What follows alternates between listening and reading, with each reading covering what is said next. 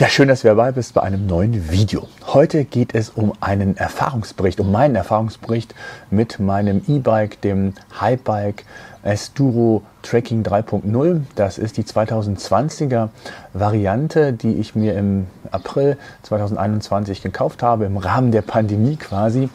Und ich bin rund 2000 Kilometer mit dem E-Bike gefahren und habe mir überlegt, das eine oder eine oder andere fragte auch schon danach, äh, wie ich denn mit dem Highbike zufrieden bin mache ich einfach mal ein Video. Ich habe mir so ein paar Stichpunkte gemacht, damit ich auch nichts vergesse. Ihr wisst oder wer meine Videos zumindest regelmäßig sieht, in der Regel mache ich so ja, E-Bike-Touren zwischen 30 und 60 Kilometern. Wenn es meine Radreise ist, die in diesem Jahr zum Glück vermehrt auch auf dem Plan steht, dann sind es auch schon mal mehr. Und ähm, das ist so die Range. Vielleicht so ein paar Fakten zum E-Bike selbst. Ich habe mich für die 500er Akku-Version damals entschieden, war völlig neu und wusste gar nicht, was ist das 400, 500 und mh, hm, auch wenn man natürlich, und das wissen wir heute auch, äh, fragt, wie, wie ist die Reichweite, dann ist das von vielen Faktoren abhängig und ich glaube, es wäre unseriös zu sagen, ich schaffe jetzt 100 Kilometer, 80. Nein, es hängt davon ab, wie ist das Profil, wie oft, ähm, wie ist die Intensität, wie man die, die Unterstützung halt benötigt. Grundsätzlich würde ich sagen, oder im, im, in den technischen Daten ist angegeben bis zu 150 Kilometer. Ja, ähm, im ganz flachen Streckenprofil, nur im Eco-Modus, kann ich mir das sogar vorstellen. Vielleicht teste ich das sogar mal irgendwann. Ähm, aber das ist so die Range. Also ich glaube, mit dem 500er Akku bin ich für meine Touren eigentlich perfekt ausgestattet. Ich habe den Bosch Motor Performance Line 3.0 ähm, das heißt, das ist die dritte Generation. Eine Shimano-Schaltung habe ich und das E-Bike wiegt knapp 24 Kilogramm und darf eine Gesamt, ähm, ein Gesamtgewicht von 130 entsprechend aufladen. Ähm, Drehmoment vom Motor ist 60 Newtonmeter. Da war mir das damals noch gar nicht bewusst, was das bedeutet. 60, 70, 50 und ähm, ich habe dann immer in meinen Recherchen gelesen, dass es mindestens 60 sein sollte. Ähm, rückblickend würde ich sagen, ich bin da eigentlich sehr zufrieden mit. Mehr geht immer. Ähm, Glaube ich, wenn ich dann höhere oder viel mehr Touren äh, umsetzen würde mit, höheren, mit einem höheren ähm, Höhenprofil, dann machen 70 vielleicht sogar mehr Sinn. Aber bin da völlig zufrieden. Ja, meine Erfahrung. Was, was war positiv, was war negativ? Also vielleicht erstmal so allgemein, das Rad fährt super. Ich hatte vorher ein Mountainbike und ähm, war da auch schon sehr zufrieden. Und als ich dann umswitchte, dachte ich nur, selbst ohne Unterstützung fährt das wirklich sehr, sehr leicht. Und ähm, habe mir extrem, äh, habe mich extrem gefreut, dass das so gut funktioniert. Ich finde die Griffe äh, extrem angenehm während der Fahrt. Das heißt, ich stütze mich gerne mal ähm, entsprechend oben auf diesen Griff drauf und die sind sehr schön ergonomisch geformt und das gefällt mir super. Also der Lenker ist wirklich sehr, sehr gut, außer durch diese, durch diese Wölbung habe ich wenig Fläche, die sehr gerade ist. Das heißt also, wenn ich mein SP Connect, muss ich schon sehr nah an den Bremsen beziehungsweise sehr nah an der ähm, Motorschaltung äh, entsprechend justieren, damit das noch gerade ist. Also das ist so ein kleines Manko, wenn man das so sagen darf. Ähm, die Zehngang-Schaltung ist für mich völlig ausreichend. Ob sieben oder zehn, glaube ich, ist überhaupt kein Unterschied. Zumindest für mich nicht. Die Scheibenbremsen funktionieren super. Ähm, habe sie bisher noch nicht tauschen müssen. Äh, ich hatte ja vor zwei Monaten eine Inspektion, die waren noch sehr, sehr gut. Da hat also alles mit funktioniert. Ähm, und ähm, auch mit dem Akku hatte ich eigentlich keine Probleme. Eigentlich in der Form, der funktioniert super. Ähm, aber das einzige Manko ist der Schlüssel. Ich weiß nicht, ob das bei euch auch so ist ähm, oder ob ihr ähnliche Probleme mit diesen Akkus habt. Ich nehme an, das sind ja Standardakkus und zwar, oder ich habe ein Montagsgerät, was, was das angeht, wenn ich den Schlüssel reinstecke, dann habe ich extrem viele Probleme gehabt, überhaupt mehr reinzukommen mit dem Schlüssel. Habe dann entsprechend Schmiermittel und was man da alles reinsprüht ähm, gemacht, habe es dann auch bei der Inspektion nochmal moniert. Ähm, seitdem klappt es ein bisschen besser, aber es ist immer noch nicht so Schlüssel rein, Schlüssel raus. Nee, da ist irgendwie so ein Widerhaken, hätte ich bald gesagt, irgendwas äh, klemmt da, hakt da. Ähm, das ist das Einzige, wo ich sage, hm, das ist so ein bisschen, hm, naja.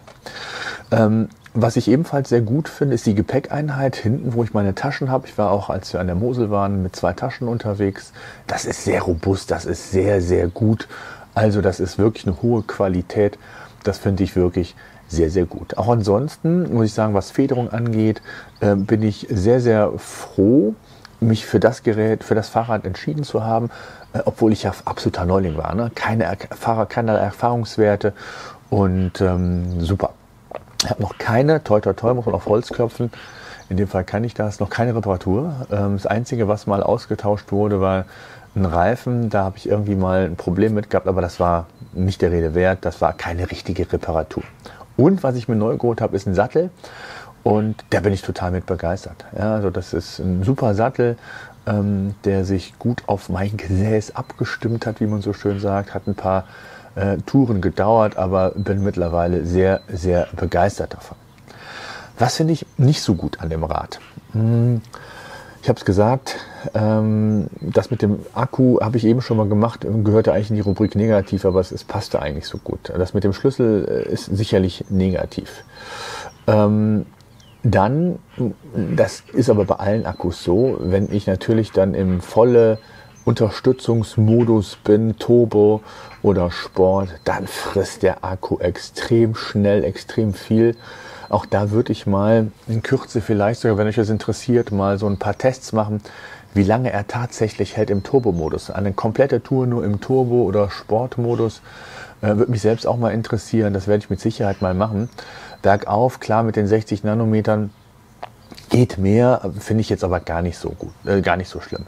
Äh, was vielleicht so ein bisschen negativ ist an den, an den Gepäckträger, blättert so ein bisschen die, ähm, die, ähm, die Farbe ab.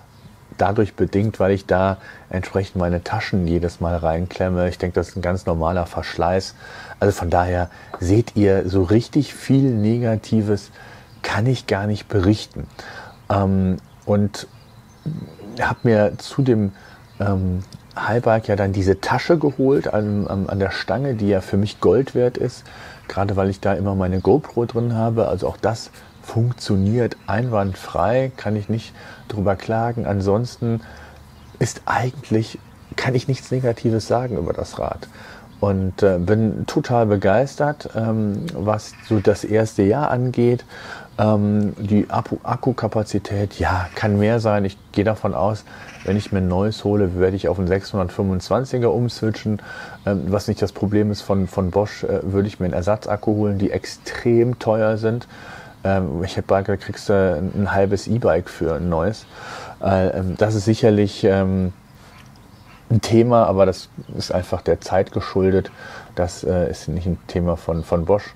Und was ansonsten die Zukunft angeht, was die Marke angeht, kann ich Highbike empfehlen, aber ich bin da völlig offen. Für mich, und das würde mich mal interessieren, was sind für euch so die wichtigsten Kriterien eines E-Bike-Kaufs? Bei mir war es so, ich habe verschiedene getestet und habe einfach da das beste Gefühl gehabt. Und da war mir dann letztendlich egal, ob es ein Highbike war, ob es eine andere Marke war. Ähm, die Parameter waren wichtig. Ich wollte einen Bosch-Motor haben. Ich wollte damals den der dritten Generation haben, die Performance Line 3.0. Ich wollte einen Akku mindestens 500 äh, Watt haben, damals zur Pandemiezeit und heute ist es nicht anders. Kann man sich das nicht aussuchen? Welche Rahmengröße ist noch vorhanden gewesen? Welcher Akku oder welch, welcher, äh, welches Rad hatte den Akku, den ich wollte?